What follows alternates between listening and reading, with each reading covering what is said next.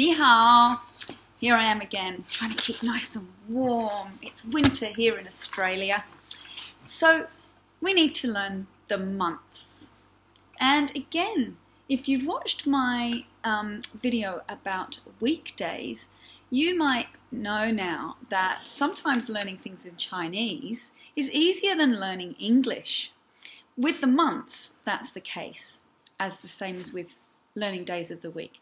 So with months, all you need to know is your numbers up to 12.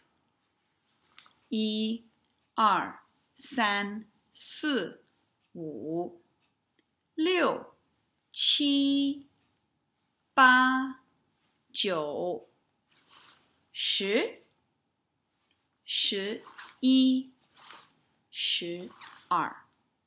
That's our numbers up to 12. And then you just need one more little word, the word for month. I'll tell you something about that word. It's special in a minute. The word for month in Chinese is yue. Yue. So to say January, now January is the first month of the year, right? To say January, you just say yue To say February, you probably guessed it already. R, Yue. March is the third month of the year, right? So it's month one, month two, and month three. San Yue. And on through the months. Okay, so I'll just say them all. You can say them with me once you've got the idea. 一月、二月、 三月、四月、五月、六月，that's June, the sixth month.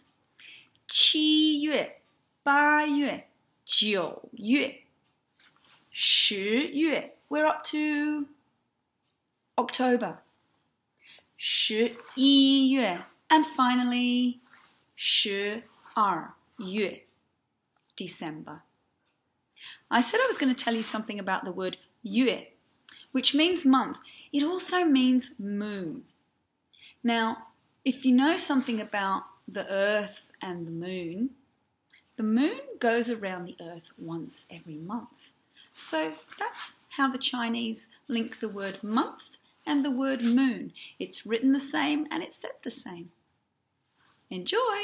Bye!